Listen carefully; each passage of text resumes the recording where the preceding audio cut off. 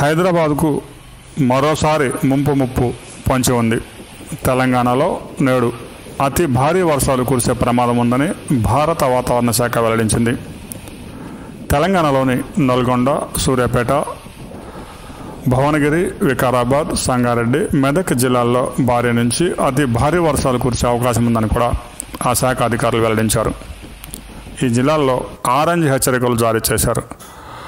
కొమరం భీం అశ్వాబాద్ మంచిర్యాల కరీంనగర్ పెద్దపల్లి జయశంకర్ భూపాలపల్లి ములుగు కొత్తగూడెం ఖమ్మం మహబూబాద్ వరంగల్ హన్మకొండ జనగాం సిద్దిపేట రంగారెడ్డి హైదరాబాద్ మేడ్చల్ కామారెడ్డి మహబూబ్నగర్ నాగర్ కర్నూలు వనపర్తి నారాయణపేట జోగులాంబ గద్వాల.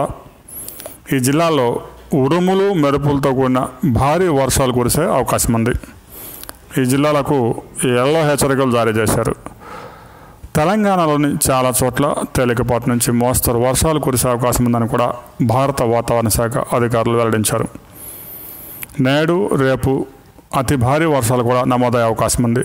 రంగారెడ్డి వికారాబాద్ సంగారెడ్డి మహబూబ్ నగర్ నాగర్ కర్నూలు వనపర్తి నారాయణపేట గద్వాల జిల్లాల్లో ఉరుములు మెరుపులతో కూడిన అతి భారీ వర్షాలు నమోదవుతాయని ప్రజలు అప్రమత్తంగా ఉండాలని కూడా ఆ శాఖ హెచ్చరించింది.